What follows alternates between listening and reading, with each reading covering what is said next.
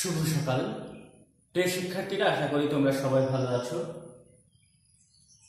তোমাদের আজকের ক্লাসে স্বাগত। আজ আমরা আলোচনা করব তোমাদের বাংলা প্রথম পত্রের প্রবন্ধ উপেক্ষিত শক্তির উদ্বোধন। উপেক্ষিত শক্তির উদ্বোধন একটি প্রবন্ধ। তোমাদেরকে একটু প্রবন্ধ নিয়ে আলোচনা করি। প্রবন্ধ এবং গল্প সম্পর্কে তোমরা জানোই। ছোট গল্প কি? ছোট গল্প হচ্ছে কোনো কাহিনী যে গল্পের মধ্যে কোন একটি একটি মাত্র কাহিনী বর্ণিত হয়, তাকে ছোট গল্প বলে, আকারে ছোট হবে এবং গল্প বলা হবে। আর প্রবন্ধ শব্দটি যদি বিশ্লেষণ করি হয়, প্রবন্ধ, দেখো, প্র হচ্ছে প্রকৃষ্ট। এই বন্ধ শব্দটি হচ্ছে বন্ধন। কথাটি এভাবে সাজাতে পারি আমরা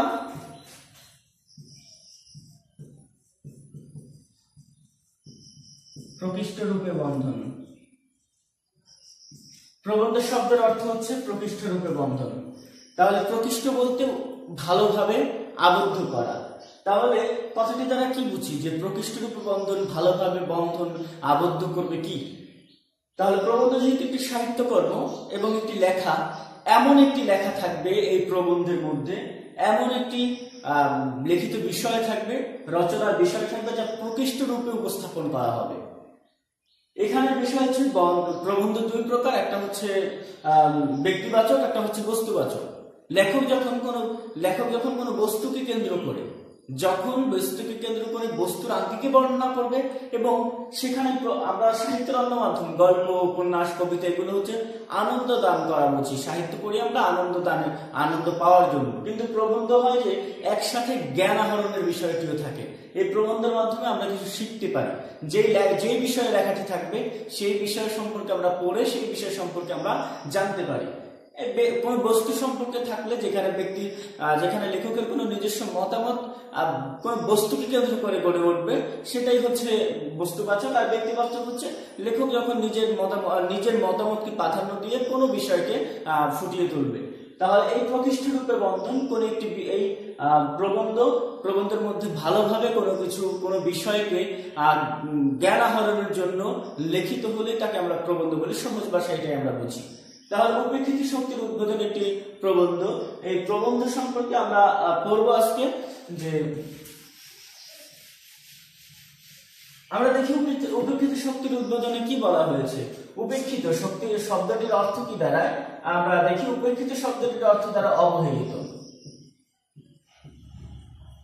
শক্তি বলতে আমরা এখানে জনশক্তিকে বুঝি বুঝি।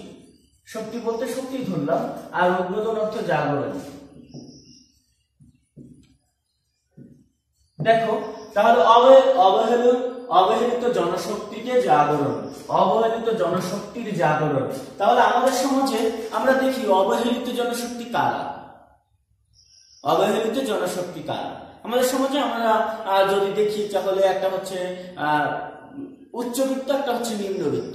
নিম্নবিত্ত হচ্ছে আমরা বলছি নিম্ন নিম্নবিত্তের মানুষ যাদের অর্থ সম্পদ কম আছে, তারা দিন মজুর, তারা শ্রমিক, তারা খেটে খাওয়া মানুষ। আরেক শ্রেণি দেখি যাদের অঢের টাকা পয়সা, অঢের টাকা পয়সা আছে, তারা তাদেরকে আমরা ধনী বলি। কিন্তু সমাজ পরিচালনার ক্ষেত্রে ধনীদের অবদান বেশি নাকি এই শ্রমিক শ্রেণির অবদান বেশি? যে যারা প্রতিদিনকার কাজ করে, যারা রিক্সা চালায়, যারা চুল কাটে, যারা জুতো সেলাই করে, যারা মাটি কাটে, যারা শ্রমিক, যারা দিনমজুর তাদের অবদান বেশি সমাজ টিকে থাকার জন্য? নাকি যারা ধনী ব্যক্তি তারাই টিকিয়ে রেখেছে সমাজ? বিষয়টাকে একটু একটু গভীরভাবে চিন্তা করো। এই ধনী ব্যক্তিরা, এই ধনী উচ্চবিত্তের মানুষগুলো, এই নিম্নবিত্তের মানুষ, এই শ্রমিক শ্রেণীদের মানুষদেরকে একটু অবহেলাই করে। আমরা অবহেলাই করে। এই অবহেলা করার কারণে এই জনশক্তি, এই শ্রমিক শ্রেণির জনশক্তিটা কি হয় না, জাগরণ হয় না। তারা নিজেদের কাজগুলোকে সঠিকভাবে করতে পারে না নিজের মতামতগুলোকে করতে পারে না। এই উচ্চবিত্তের মানুষগুলো, এই যে ধনী শ্রেণির মানুষগুলো, এই শ্রমিক শ্রেণির মানুষদেরকে ছোট লোক বলে সম্বোধন করে। করে কিনা বলো? অবশ্যই করে যে তারা ছোট লোক বলে, কথায় কথায় ছোট লোক বলে। এখনকার সমাজ একটু কমে গিয়েছে, কিন্তু ওই প্রবন্ধ যখন লেখেন, লেখক যখন ওই প্রবন্ধটি লেখেন, তখন ওই সমাজে এই নিম্নবিত্তের মানুষদেরকে অবহেলা একটু বেশি করা হতো। এই উপেক্ষিত শক্তির উদ্বোধন, এই অবহেলিত শক্তি, এই ছোট লোক ছোট লোক সম্প্রদায়, যাদেরকে বড় লোকেরা ছোট লোক বলে আখ্যায়িত করেছে, এই তথাকথিত ছোট লোক সম্প্রদায়, এই অবহেলিত জনশক্তিকে জাগরণ করার কথাই এখানে এই প্রবন্ধ ফুটিয়ে তুলেছে। লেখক কাজী নজরুল ইসলাম এই প্রবন্ধের মধ্যে এই জনশক্তিকে, এই অবহেলিত জনশক্তিকে কীভাবে জাগিয়ে তোলা যায়, এই জাগিয়ে তোলার ফলে কি কি সমাজের পরিবর্তন করতে পারে, কীভাবে গণতন্ত্র গঠিত হতে পারে, দেশের অগ্রগতি হতে পারে, দেশের উন্নয়ন ঘটতে পারে, সেই বিষয়টি এখানে তুলে ধরেছেন। তাহলে এটা একটি একটি এটা একটি বিষয় বিষয়টি কেন্দ্র করে লেখক তার নিজস্ব মতামতকে প্রাধান্য দিয়েছেন। আমরা তাহলে শুরু করব প্রবন্ধটি।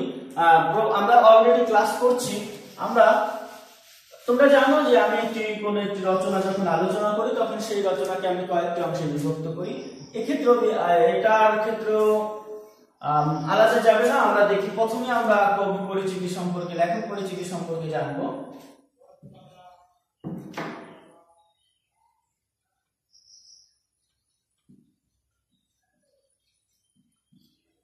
তারপর হচ্ছে এটার মূল ভাব সম্পর্কে জানব।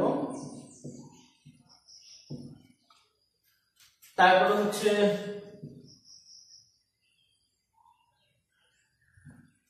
বিষয় সম্পর্কে জানব।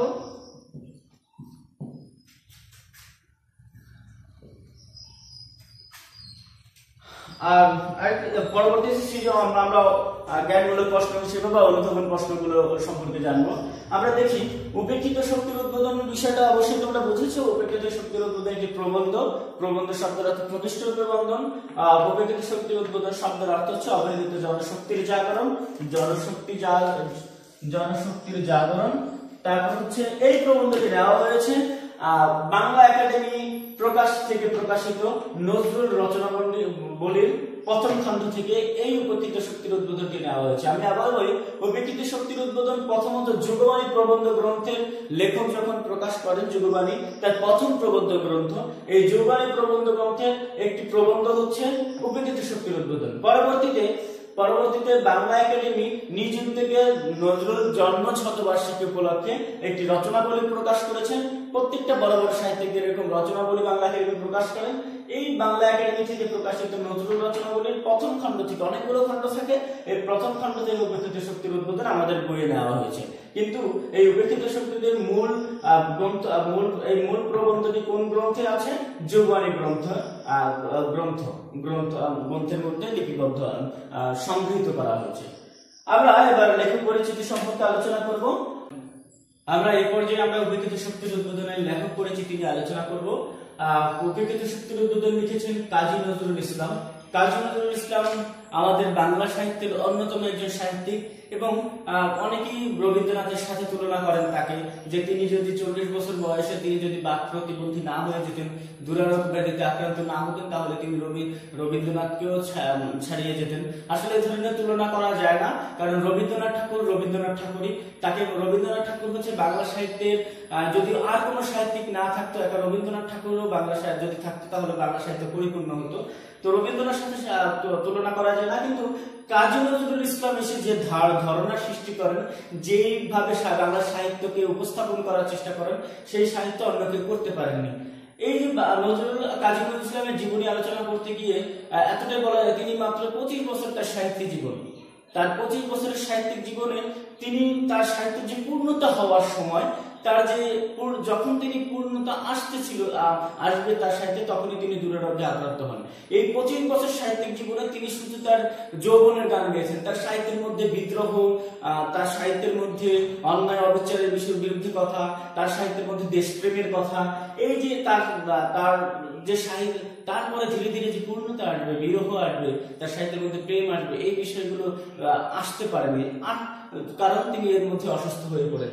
এই কারণে কাজী ইসলামের যে সাহিত্যিক জীবন অপূর্ণ সাহিত্যের জীবনে তিনি যে সাহিত্য রচনা করেছেন তা বাংলা সাহিত্যে তার গুরুত্ব অপরিসীম। কাজী নজরুল ইসলাম জন্মগ্রহণ করেছেন উনিশ চব্বিশে মে আঠারোশো নিরানব্বই সালে এবং মৃত্যু জন্মগ্রহণ করেছিলেন আহ, আসানসোল চুরুলিয়া গ্রামে। চব্বিশ পরগনা জেলা পশ্চিমবঙ্গের বর্ধমান জেলার চব্বিশ পশ্চিমবঙ্গের বর্ধমান জেলার আসানসোল মহকুমার চুরুলিয়া গ্রামে তিনি জন্মগ্রহণ করেছেন। খুবই গুরুত্বপূর্ণ একটি তথ্য। তিনি মৃত্যুবরণ করেন ঢাকাতে উনত্রিশে আগস্ট উনিশশো ছিয়াত্তর সালে। উনত্রিশে আগস্ট উনিশশো ছিয়াত্তর সালে তিনি ঢাকাতে মৃত্যুবরণ করেন। তাকে সমাহিত করা হয়, তাকে কবর দেওয়া হয় ঢাকা বিশ্ববিদ্যালয়ে, Dhaka medical college Dhaka medical college Dhaka medical বিশ্ববিদ্যালয়, বা মেডিকেল বিশ্ববিদ্যালয়ের মসজিদের প্রাঙ্গণে তাকে সমাহিত করা হয়। এটা তার ইচ্ছা ছিল। তিনি বলে তার এই নিয়ে একটি গানও আছেন। তিনি বলেছিলেন, মসজিদের এই পাশে আমার কবর দিও ভাই, যেন করে মুয়াজ্জিনের আজান শুনতে পাই। এই যে তার ইচ্ছা, এই ইচ্ছা মাফিক তাকে ঢাকা মেডিকেল কলেজের মসজিদের প্রাঙ্গণে তাকে মসজিদ প্রাঙ্গণে তাকে সমাহিত করা হয়। তিনি লেখাপড়া করেছিলেন প্রথমত তিনি মক্তব্যে পড়ালেখা করেন এবং মক্তব্যে পড়ালেখা করার পরবর্তীতে দরিরামপুর হাই স্কুলে তিনি পড়ালেখা করেন। তার পেশা ছিল তার অগণিত তার বৈচিত্র্যপূর্ণ জীবনে ছিল কাজী নজরুল ইসলামের।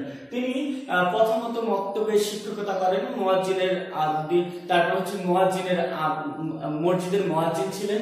পরবর্তীতে তিনি রুটির দোকানে কাজ করেন, তারপরে তিনি লেটো দলের সাথে যোগদান করেন, লেটো গানের দলের সাথে যোগদান করেন এবং সর্বশেষ তিনি উনিশশো সতেরো সালে সেনাবাহিনীর বাঙালি পল্টনে যোগদান করে করাচিতে যান এবং সেখানে তার সাহিত্যের সূত্রপাত ঘটে। উপাধি তিনি কাজী নজরুল ইসলামকে আমরা বিদ্রোহী কবি হিসেবে চিনি। তিনি তাকে বিদ্রোহী কবি বলা হয় কেন?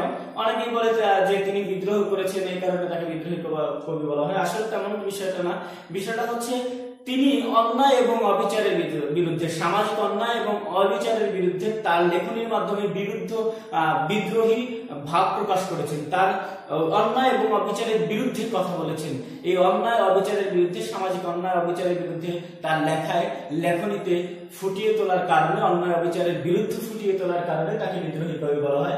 এছাড়া তিনি তাকে, তিনি উনিশশো বাহাত্তর সালে যখন বাংলাদেশে আসেন, অসুস্থ কবিকে যখন বাংলাদেশে নিয়ে আসা হয়, তখন স্বাধীন বাংলাদেশে বাংলাদেশ হওয়ার পর তাকে তাকে জাতীয় কবি মর্যাদা দেওয়া হয়, কাজী নজরুল ইসলামকে জাতীয় কবির মর্যাদা দেওয়া হয়। পর তিনি উনিশশো তিনি হচ্ছে চল্লিশ বছর বয়সে দুরারোগ্য ব্যাধিতে আক্রান্ত হন। এটা হচ্ছে উনিশশো চল্লিশ বছর হলে তিনি যদি নিরানব্বই জন্মগ্রহণ করেন, তাহলে চল্লিশ বছর হলে কত বছর তোমরা একটু হিসাব করে নেবে যে কত সালে তিনি হন? চল্লিশ বছর বয়সে তিনি হন। কথা কথা তেতাল্লিশ বয়সে আসে যে উনিশশো বিয়াল্লিশ সালে তিনি দুরারোগ্য ব্যাধিতে আক্রান্ত হন। তেতাল্লিশ বছর বয়সে, কিন্তু তোমাদের পাঠ্য বইয়ে, তোমরা যে বাংলা পাঠ্য বইয়ে চল্লিশ বছর বয়স যেহেতু আছে, তোমরা পরীক্ষায় সেটাই দিবে। তিনি সাহিত্যিক বৈশিষ্ট্য। তার সাহিত্যিক বৈশিষ্ট্য হচ্ছে তিনি বাংলা সাহিত্যে রাগ প্রধান গজলের, গজল এবং গজলের প্রবর্তন করেন তার গানের মধ্যে রাগ রাগ রাগ প্রধান গজল এবং আরবি, ফার্সি শব্দের প্রচুর ব্যবহার করেছেন তিনি তার সাহিত্যে। এছাড়া তার সাহিত্যকর্ম তার সাহিত্যে তিনি উপন্যাস উপন্যাস, গল্প কবিতা সবই লিখেছেন। তবে আমরা কাজী ইসলামকে কবি হিসেবে চিনি। তার উল্লেখযোগ্য কাব্যগ্রন্থগুলোর মধ্যে রয়েছে আহ, বিশের বাসী সায়ানট চক্রবাক সিন্ধু হিল্লোল। এছাড়া তিনি আড়াই হাজারের মতো গান লিখেছেন। বা পৃথিবীর কোনো কবি এত একজন কোন সাহিত্যিক এতগুলো গান একসাথে সাহিত্য এবং গান রচনা করতে পারেননি। নজরুলের যে গান সেই তিনি পঁচিশ আড়াই হাজার গানের মতো লিখেছেন। এই গানের ব্যাপারে একটি কথা আছে নজরুলকে। নজরুলকে যদি গান এবং পান দেওয়া হতো, তাহলে সেখানে তিনি যতক্ষণ ইচ্ছা, তিনি তাকে আর অন্য কোনো কিছু দিতে হতো না। আবারও বলি কথাটি। নজরুলকে যদি একটা হারমোনিয়াম দিয়ে, পান দিয়ে বসিয়ে দেওয়া হতো, সে অনবরত গান গেয়ে যেত। তাহলে গান এবং পান নজরুলের প্রাণ।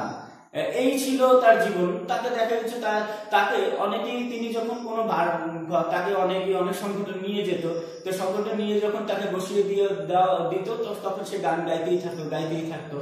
এই যে গা- আবার কি তার যতক্ষণ ইচ্ছা, তার যেহেতু ছিল ছন্ন ছাড়া ছিল, যতক্ষণ ইচ্ছা সে গান গাইতো। যত দিন হতে পারে এক সপ্তাহ, এক মাস ওইখানে থাকতো তিনি। এর পরবর্তীতে আবার অন্য কেউ এসে দেখা যাচ্ছে তার যেখানে থাকতো তার বাইরে অনেকে বসে থাকতো তাকে নেওয়ার জন্য। এই ছিল নজরুলের জীবন, তার গানের জীবন।